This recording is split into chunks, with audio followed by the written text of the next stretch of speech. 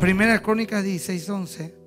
Buscad a Jehová y su poder, buscad su rostro continuamente. Gente tentada, ore. Gente que reclama herencia, ore. Gente que está tribulada, ore. Gente que está agradecida, ore.